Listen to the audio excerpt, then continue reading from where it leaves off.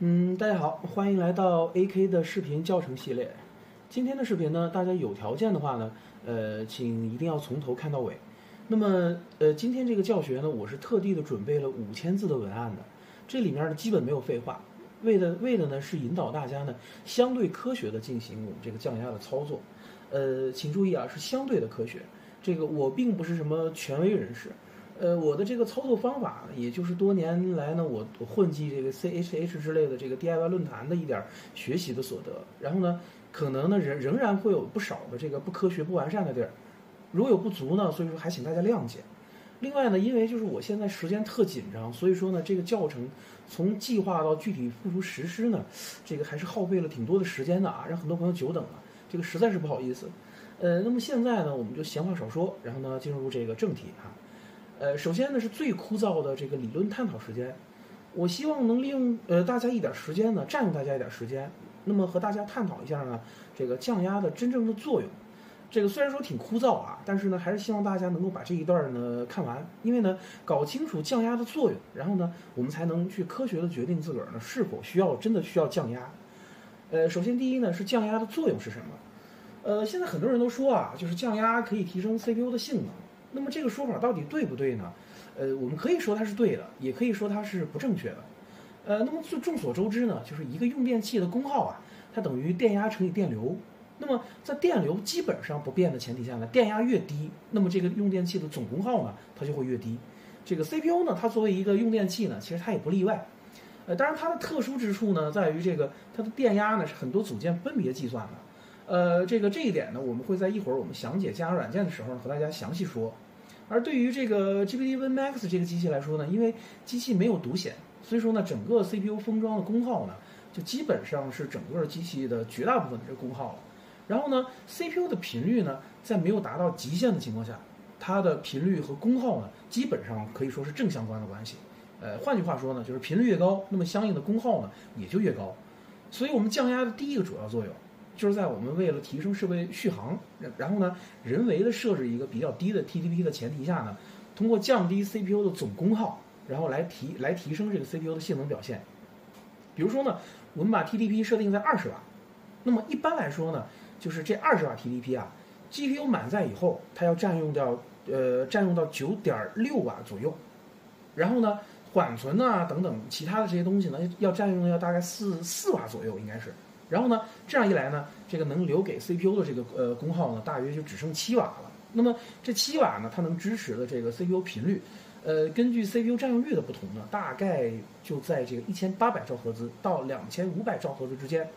呃，如果超过两千五百兆赫兹呢，就会因因为这个功耗墙的存在啊，就 CPU 这个功耗墙的存在呢，维持在这个两千五百兆赫兹左右的这个频率它不动。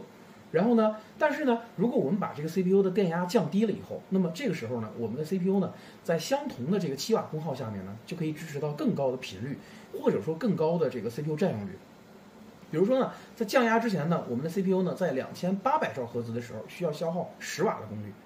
那么呢，这个在呃其他条件不变，然后呢，我们在做了降压之后呢，那么我们在这个 TDP 设置成二十瓦的状态下呢。呃，这个功耗墙呢是不足以支撑这个两百两千八百兆赫兹这个这个频率这么高的频率的，所以说呢，这样呢，在达到两千八百兆赫兹以前，就会因为撞功耗墙，导致呢性能不能继续提升提升，就是它的频率不能继续提升了。然后呢，这样呢，这个我们的我们的性能就受到了限制。而我们在降压之后呢，那么在达到两千八百兆赫兹的时候呢，就只需要七瓦左右。这样一来呢，在 TDP 设置在二十瓦的前提下，就足以支撑两千八百兆赫兹。这样呢，我们的 CPU 呢就可以就可以达到这个两千八百兆赫兹。这个时候呢，我们的我们的机器的性能呢，在 TDP 设在二十瓦的前提下呢，相比不降压，那么它就提升了。然后呢，我们再来讲一下 CPU 降压的第二个主要作用哈，就是也是我个人认为的最重要的作用。那么也也就是也就是说呢，这个提升 CPU 在极限情况下的性能。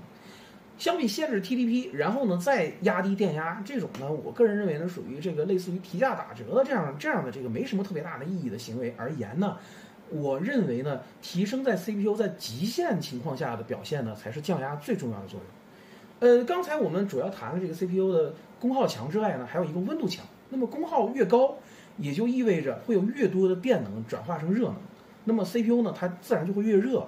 所以说呢，在这个情况下呢，就 Max 就是我们这个 GPU Max 这个掌机来说呢，那么 CPU 的温度墙呢，大概是呃九十一度左右，也就是 CPU 温度达到九十一度的时候，就会触碰温度墙，然后呢引发 TDP 的降低。对，没错，就是碰撞温度墙以后，它的它这个后果呢，它相比这个碰撞功耗墙要更严重。就是说，我们撞功耗墙呢，它只会让 CPU 一直维持在这个功耗墙所限制的那个最大的功率附近。但是呢，撞温度墙不一样，撞温度墙呢会直接引发功耗墙天花板的降低。然后呢，就我们这个 Max 掌机的幺零三五 G 七这个处理器来说呢，呃，它的这个撞温度墙以后的 TDP 呢会直接降低到二十瓦到二十二瓦左右。然后呢，再开始缓慢回升。就如果在回升过程里面呢，如果我们再次撞这个温度墙的话，那么 TDP 呢就会再次降低。然后呢，就在这个轮呃轮回里面反反复复，这样就造成了 CPU 性能的又低下，然后呢它还不稳定。所以说呢，这种问题呢，在我们玩一些这个 CPU 占用率比较高的游戏的时候，啊，比如说全战就全面战争系列，然后还有一些模拟器的时候呢，就表现的尤其严重。所以这个时候呢，通过降压，我们就可以把相同频率，然后呢和 CPU 占用率。的情况下，就是 CPU 占用率和相同频率和和和这个呃特定频率是一样的情况下呢，这个 CPU 的温度呢，把它有效的降低下来，这样呢，这个温度墙就没有那么容易撞到了。然后呢，我们的系统呢就有可能更长时间维持在这个更高性能的状态下。但是当然了，呃，话说回来啊，就是散热呢是我们一切操作的基础。我们在在这个做降压的时同时呢，我们必须做好这个整个系统的散热。所以大家今今天也看到了，因为我的笔记本散热垫啊。然后呢，在我在在不在我手边，所以说呢，我今天呢就采取了一个略有硬、略略显硬核的这么一个这么一个方法啊，就是拿两块硬盘，然后直接把这个把这个机器这个这个给它垫起来，垫高了，这个也是我个人认为还是蛮硬核的哈。呃，然后呢，现在呢这个理论部分呢到此就结束了，然后呢，现在我们进入大家这个最关心的这个实际操作实操环节，然后这一次呢，我们主要用到了三个软件。第一个呢，就是大家很熟悉的这个 Quick CPU，然后呢，这个呢是用来调整 CPU 各个组成部分的这个电压的数值，然后呢，这个它是我们这次操作的这个核心部分啊。然后呢，这个呃，英特尔的这官方的这个超频软件呢叫 XTU，然后呢，这个这个软件呢目前不被这个我们这个处理器所支持，所以说呢，我们我们目前可以用的就是这个 Quick CPU 这个软件啊。然后呢，第二个软件呢是 A 的六四。就是这个软件，然后呢，它是一个呃系统监测软件，但是呢，呃，我们用它呢来测试我们这个系统的稳定性哈。然后第三个软件呢，就是我们这个多数多数这个玩家都知道的这个 3D Mark，然后呢新 3D Mark 用来测试这个呃 GPU 的稳定性。呃，在这儿呢，我非常极度特别的不推的不不推荐大家用鲁大师，因为呢这个软件呢，在我个人看来，简直几乎就是超频界的耻辱啊。这个你说跑个分娱乐一下呢，其实还好，但是呢，就它那个什么稳定性测试啊，真的完全就是一个笑话。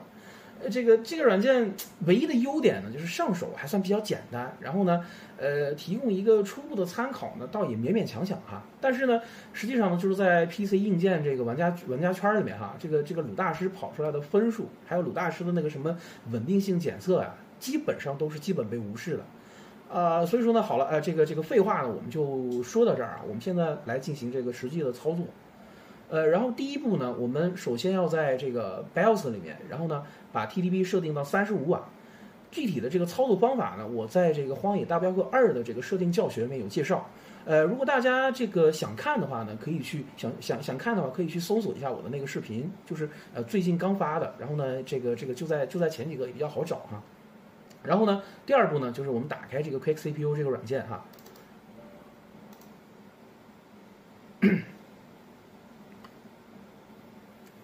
呃，好，然后呢，现在呢，我们打打开这个，就是这个 Advanced CPU Settings 这个软件，这个这个这个选项，然后呢，选择这个这个 FIVR Control，呃，这个，然后呢，这样呢，在这个界面里面，然后呢，它一共是五个进度条。呃，不是五个选项，然后呢，我们这个呃一个一个来说啊，就是第一个，第一个呢就是这个这个这个呃最关键的地方就是核心电压。那么在极限状态下哈，在极限状态下，那么处理器的功耗呢，在整个这个 CPU 封装里面，它能占到百分之六十。所以说呢，这个这个选项呢是我们降压操作的首选。然后呢，第二个呢是处理器的缓存电压。这个处理器的缓存呢，它的作用呢是处理 CPU 即将处理，但是呢又没有完全又又又还没有处理的这个数据流，它的作用呢其实是很大的，但是呢它的功耗在整个这个 CPU 封装里面啊，呃怎么说呢？它所占的这个比重呢并不是特别大，所以说呢它的降压优先级呢是比较靠后的。那么第三个呢是这个 GPU 的电压，就是 GPU 呢就是我们的显示核心啊，也就是我们的核显电压。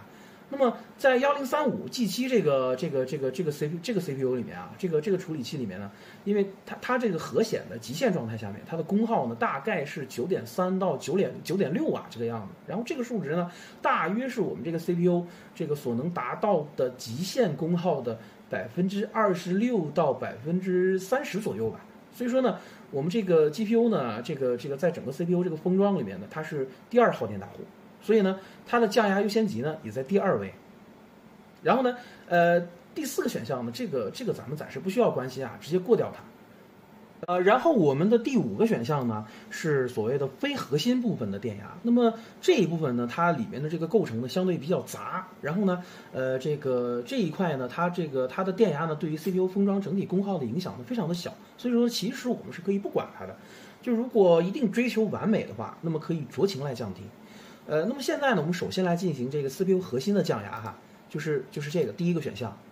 呃，然后呢，呃，这个呢是降压操作的起点。我们首先，我们我我们把它降低这个三十个单位，我们建议把它呃首先降低三十个单位，就是在这个在第二个进度条这个地方，对我们降低三十个单位，然后呢，这个这个单位呢，它的中文叫做。叫做毫伏，英文呢？英文单词的组成呢是 MV，也就是毫伏。那么一千毫伏等于一伏，所以说我们降低三十毫伏，相当于降把这个电压呢降低了零点零三伏特。然后呢，我们这么操作呢，最后呢点击这个 Apply，然后 Accept，这样我们的 CPU 电压呃就降低了零点零三伏，CPU 核心的电压啊。然后呢，现在呢我们就需要来测试一下现在这一阶段降压操作的稳定性。然后呢。我们就需要用到这个这个这个 A 到六四这个软件了。好，我们来打开这个软件。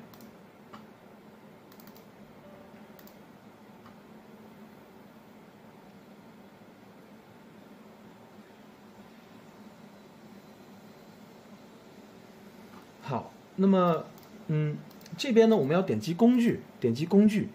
然后呢，这个在这边选择系统稳定性测试。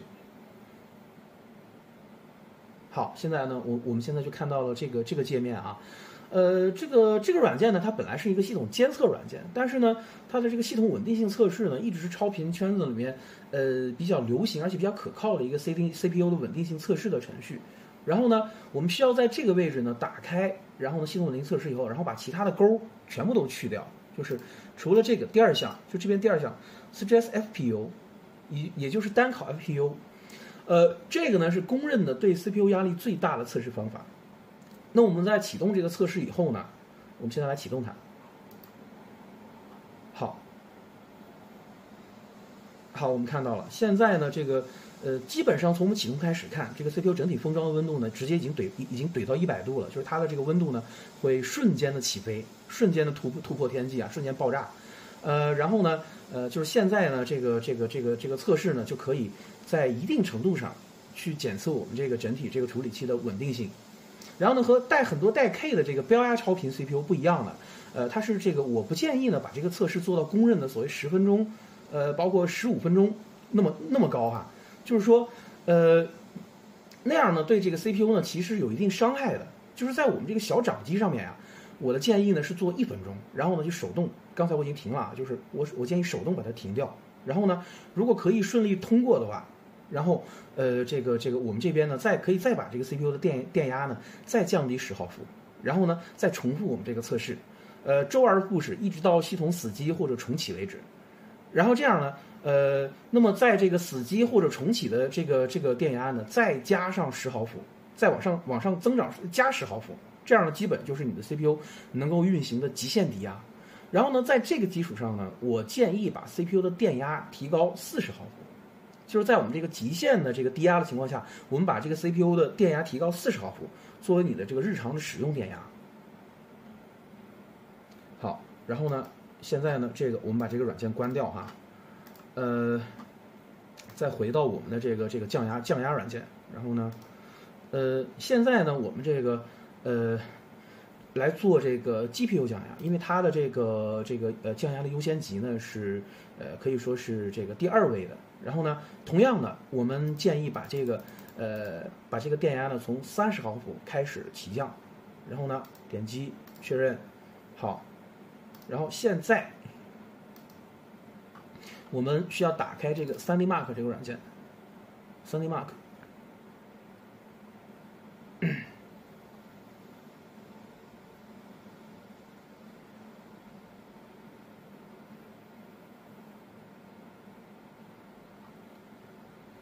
好，然后呢，我们点 Benchmarks，然后呢，在下面找到这个 Fast Track Extreme，也就是我们日常所说的超频圈所说的 FSE 啊。然后呢，把这个呃 include include demo 把这个选选项呢去掉，这样呢它就是一个专门运行测试了，不会带有这个完整的场景展示程序了。然后呢，我们点 run 就是运行这样子。呃，多啰嗦一句啊，就是这个这个 3D Mark 这个软件呢，因为它打折的时候很便宜，所以说我是我买的是正版。呃，这个这个这个破解版呢，其实也是有的，这个学习版。但是呢，呃，学习版在测试的时候呢，可能会有一些小问题，这个呃比较诡异的小问题啊，这个我没法一一列举。所以说呢，如果大家有条件的话，呃，可以考虑，还是可以考虑买个正版的。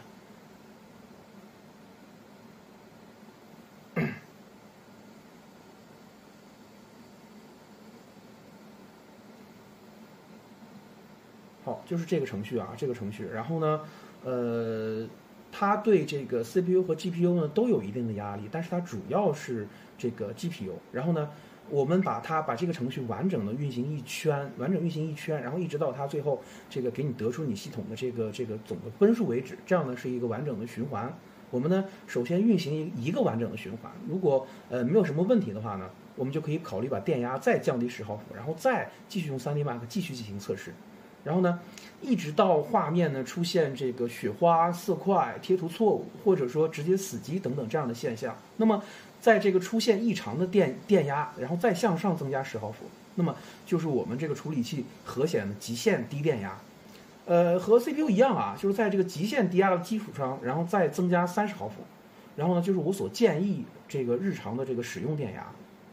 那么，呃，需要有一点需要注意啊，就是在运行这个 3D Mark 的这个过程里面，如果你的电压呢已经这个这个怎么说呢？就是特别是在你的电压已经已经降的比较多的时候啊，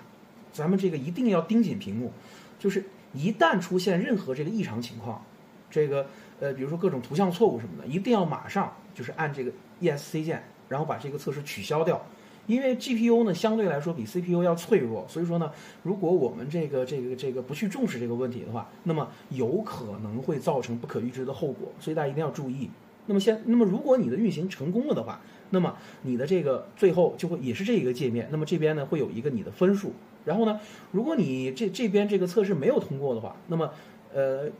它这个怎么说呢？这个软件呢会自动取自动取消测试，然后呢在。通常会自动取消，或者你手动取消也可以。然后呢，这样呢，就是就出现这样的这样的一个界面，上面这样这样有一个有一个提示，这个咱们就不需要管它了啊。然后咱们把这个，呃，可以把它关掉。呃，就是这样，然后一直测试下去，最终找到你的这个呃极限频率和正常的使和这个日常使用频率啊，不是啊，说错了，极限电压和和日常使用电压哈。呃，那么在处理了 CPU 和 GPU 的降压以后呢，我们可以再尝试呢，把缓存和这个呃非核心部分的这个电压呢稍微再降低一点。但是呢，呃，我的建议呢是不降，因为在日常游戏的过程里面啊，这个通常呢只给 CPU、GPU 降压呢，已经可以比较好的解决我们的这个温度强的问题。所以说呢，其实没有太大的必要去画蛇添足。而且呢，如果你的 CPU，呃，核心和 GPU 核心如果呃这个降压成绩非常差的话，那么你就算把这个剩下这两这两个选项你降的突破天际啊，也一定也也一样的，它减少不了什么功耗，这个于事无补啊。所以说这个基本上它只能这个呃锦上添花，但是呢它不能雪中送炭。所以说这个选项这这几个选项呢，呃降与不降，我这个我我对它持这个消极态度啊。呃，然后呢，这个呃，这两个项目，如果你要降，那么在降完以后呢，我们同样用要用这个 A 到六四，要用这个软用用这个软件，然后来进行验证。呃这个这个验证完毕以后呢，我建议呢把所有的项目都设定在刚才我们所说的这个，就是咱们找到就是咱们找到的这个日常使用电压，然后呢，这个再跑十轮 3D Mark 的测试，然后呢来验证整个这个系统呢在 3D 应用里面这个稳定性。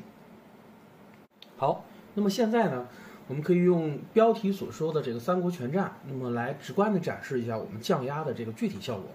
那么首先呢。呃，我我我这边呢，需要先介绍一下我这个几乎所有我的视频上啊，在这个左上角屏幕的左这个画面的左上角呢，都有的这么呃这么一些这个监测数据。然后呢，这个我我们来一块来来认识一下，这个就是呃首先呢前四行是我们这个 CPU 的实时频率，然后呢这个第五行是呃 CPU 实时的占用率，呃然后呢第六行。呃，是我们这个 CPU 整个这个封装，然后它的这个呃目前的温度，然后第七行呢是我们这个 GPU 的呃这个频率实时频率，然后呢再接下来呢是我们这个 CPU 的这个封装的呃总功率，然后再下面这个 IA Core Power，这个呢是我们这个呃 CPU 核心的实时功率，然后呢这个下面的 GT Core Power 呢就是 GPU 核心的实时功率。然后呢，再再下面这个 PLE Power Limit，这个呢就是我们的 TDP。然后呢，PL2 Power Limit 呢就是我们这所谓的所谓的 Boost。然后这个 Boost 的这个这个这个功耗啊，也就是所谓的真打人时间。呃，这一行呢我们可以无视它，它这个数据不是太准。然后呢，这个再接下来呢是我们的这个物理内存占用。然后呢，最后呢，就是呃，这个左下角的这个小的这个这个数字呢，这个就是我们这个呃运行的这个帧数啊。呃，在我日常的视频里面呢，因为它这个我这个采集卡呢有一些小问题，所以说呢，它这个左边呢会呃会被这个被切掉大概半个字母这样的距离，所以这个帧数呢可能有时候看的不是那么清楚。呃，这个呢还请大家谅解哈。呃，好，那么现在呢，我们就来打开这个《三国全战》这个游戏。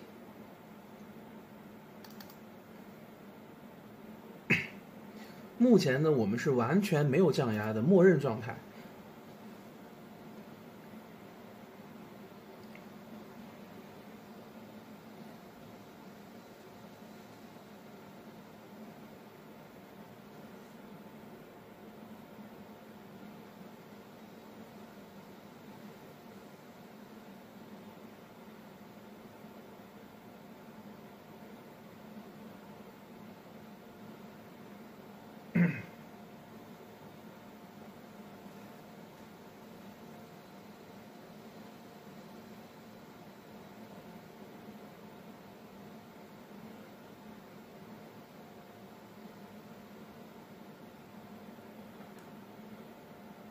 好，我们这边呢已经可以进入游戏了，就是我们的这个呃自定义战斗。然后呢，这就是我之前的视频呢所展示的那场战斗。这个双方兵力大概的兵力呢大概在一万多，但是呢，呃具体呃有一万多少，这个我有点不太确定哈。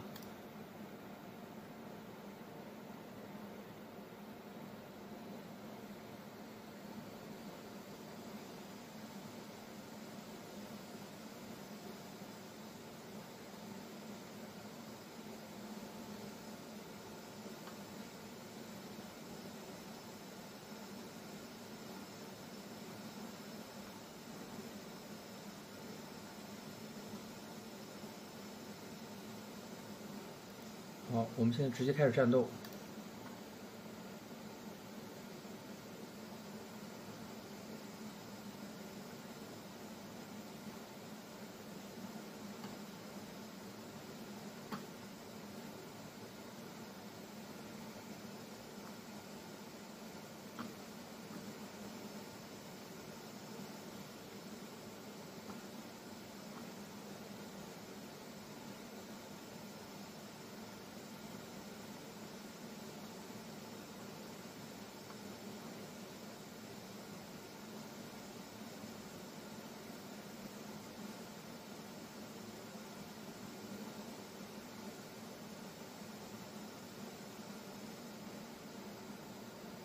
好，我们注意看，现在呢这边，这个我们的这个这个呃已经撞墙了。刚才呢这个，呃现在这个 TDP 呢已经刚才在一瞬间呢已经降到了二十六瓦呃不不是二十六，二十二瓦左右，然后呢开始缓慢回升，然后呢我们的这个这个这个整个的这个呃游戏呢也变成了 PPT 哈，就是然后看我们的这个呃 CPU 的这个这个这个目前的这个这个状态，然后呢这个频率。嗯，现在呢是这个从两大概两 G 左右开始缓慢回升，但是无论它怎么回升呢，就是目前的游戏呢还是这个不是特别的顺畅啊。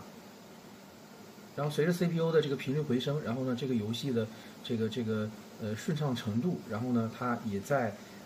看现在也在缓慢的恢复，但是呢仍然有一会有一点卡。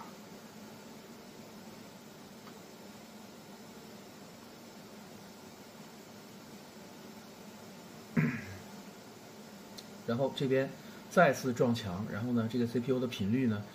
这次更夸张，降直接降到了一点五 G 这样子。这样，然后呢，我们的看我们的注意看我们的 TDP，然后呢，我们的温度，我们的这个这个 CPU 的呃核心的实时功耗，然后现在呢，因为 CPU 的频率太低了，所以说呢，这个整个这个呃这个环境呢已经几乎看不下去了。然后我们看一下这个帧数。其实帧数来说呢，和刚才呢并没有什么显著的变化啊，所以说这一边呢是 CPU，然后呢因为它的频率太低，所以说呢造成了我们的这个瓶颈。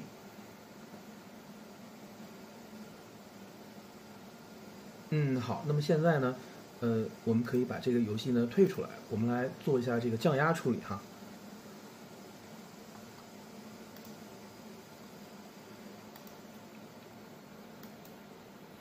然后好，这边呢，我输入的是我的数据。呃，我这边就是我的核心呢，可以降，就是呃正常使用频率大概在一百左右。然后呢，缓存呢，我大概随便随便那么降一下。这个呃大家呢也可以不降它。然后 GPU 呢，我这边是七十。然后这样，我随我随意设定一下其他的，然后 Accept OK。然后呢，我们再来开这个游戏，我们来看一下。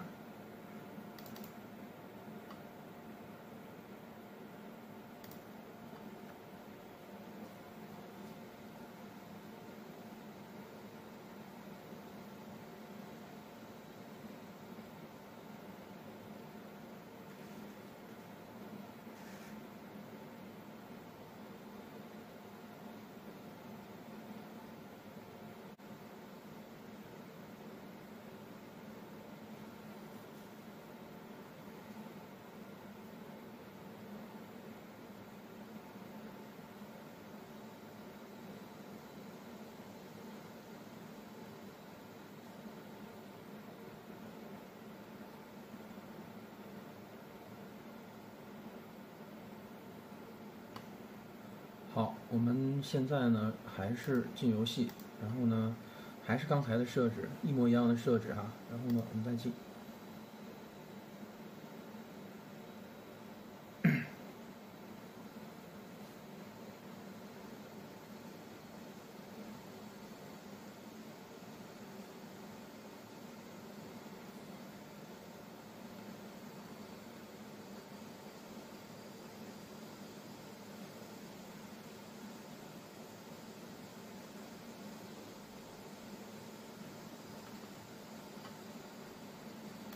去开战。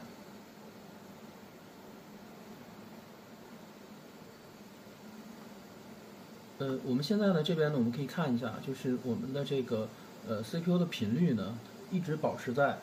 这个我们这个所有的四个核心的最大值，就是三点三 G 赫兹左右。然后呢，我们的这个 CPU 的实时的功耗呢，大约在三十瓦上下，保持在三十瓦上下上下。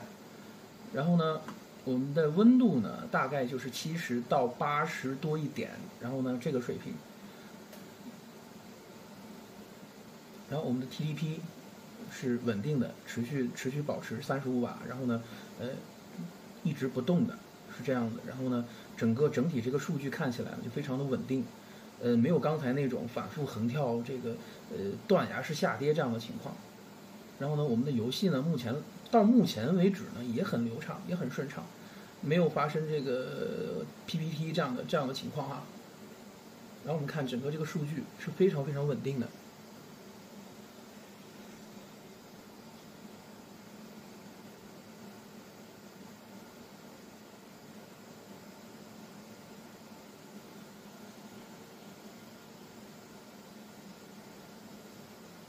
好目前为止数据还是没有任何变化。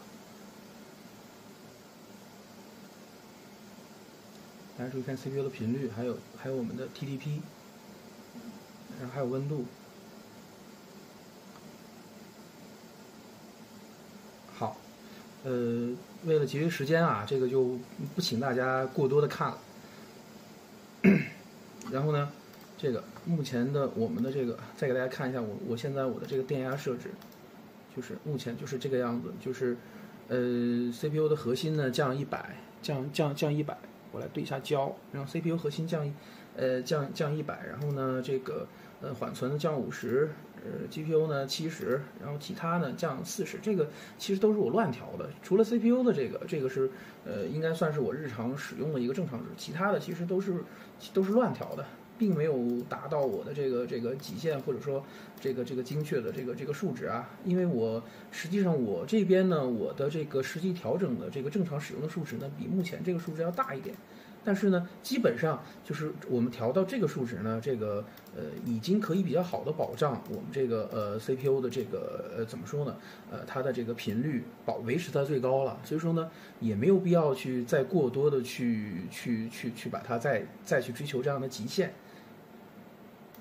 好，那么现在呢，我们这个呃出于习惯啊，然后呢，我呢把它。呃，恢复默认。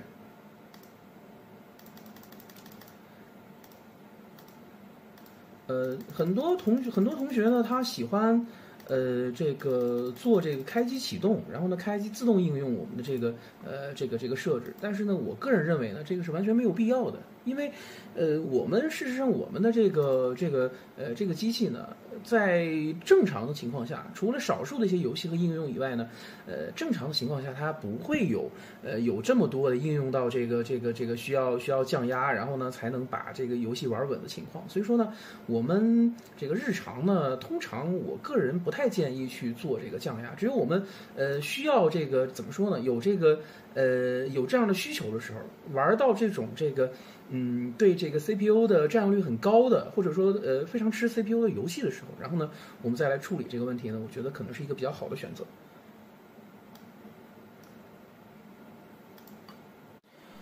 呃，好，那么最后呢，我就一些有关的问题，常见的问题，给大家做一个简单的科普啊。首先呢，呃，就是我们这个 CPU 的降压操作它是否安全？呃，就是目前的 CPU 呢，一般来说都是带有很严格的这个保护机制的。就是说，如果出现降压过度的情况呢，那么 CPU 呢，它会直接启动这个保护机制，然后停止 CPU 的工作。所以说呢，从症状上说呢，就是说蓝屏、死机、重启，然后呢这一类的症状。所以降压这个操作呢，在理论上应该是有一定的安全系数的。但是呢，我不能对这个操作的安全性进行保证。所以说，请您根据自己的这个心理呢和经济的承受能力，自行决定是否要做这个操作降压的操作。如果你执意一定要做的话，那么呢，请自行承担所有的后果。第二呢，就是 CPU 长期降压使用呢，会不会影响 CPU 的使用寿命？那么关于这个问题呢，我们要从事物的这个两面性来考虑啊。一方面呢，就好比我们人日常吃饭，这个吃半饱啊，更有利于身体健康。对吧？然后呢，这个相同的道理就是对于 CPU 来说呢，适当降压啊，因为它可以运行在这个更低的温度下，所以说呢，相对于默认的电压而言呢，反而可能对 CPU 呢有一定的好处。但是另一方面呢，就是如果长期过度降压使用，就会造成 CPU 严重的这个电子迁移现象，最终的结果呢，就是我们超频圈经常说的这个 CPU 缩缸。呃，简单说呢，就是 CPU 本来能稳定运行在某个比较低的电压，但是呢，这电压呢，对于 CPU 来说呢，已经属于这个过度的低压了，只是我们只是我们不知道，或者说呢，它没有通过这个死机或者其他的症状的表现出来。那么时间这个久了久了以后呢，那么这个所谓量变产生质变嘛，在这个某一个时间点呢，这颗 CPU 呢就有可能再也不能稳定的工作在在这个电压了。那么在这个时候呢，这个很多很多朋友呢就会，呃，怎么说呢？略微提高一点电压呢，继续用。但是呢，因为这个时候呢，你的 CPU 的电子结构已经开始破坏了，所以说呢，最终的结果呢，就有可能导致 CPU 连我们默认的电压，就是不降压默认的电压可能都稳不住。这样的话，你这你这 CPU 呢，基本就算是废了。所以说，这也就是为什么呢？呃，我建议长期使用这个呃长期使用的这个电压啊，比咱们这个极限低压呢高那么多，要高三十三十毫伏。所以说呢，也是出于这个道理。然后呢，就好比咱们这个人吃吃饭，这个吃半饱呢有利于身体健康，但是呢，如果每天让你干活呢，然后呢不给你吃饭，每天让你饿着，那这个人肯定是撑不住的，对吧？所以说呢，如果你在使用过程里面发现这个 CPU 呢出现了疑似这个缩缸的现象的话，那么最佳的处理方案就是立刻恢复默认电压，千万不要浪。然后呢，只有这样呢，才能保证你的 CPU 呢它的电子结构呢不会继续遭到破坏。然后第三呢。就是我到底有没有必要进行降压？然后呢，关于这个问题呢，我想说的呢，就是如果你日常运行的是一些个不吃 CPU 的游戏，那么其实你完全没必要降。这个事实上，通过降低 TDP 和降低电压的方法呢，很多人用这个方法来提升续航。呃，来来来，保证这个这个呃，怎么说呢？这个高续航状态下它的这个性能，在我看来呢，这个其实这操作挺无聊的啊。就是说，你因为你提升那点续航啊，它并不足以让你多玩多长的时间。相反呢，你还要承担这个降压所带来的一系列的这个风险啊。所以说呢，完全得不偿失。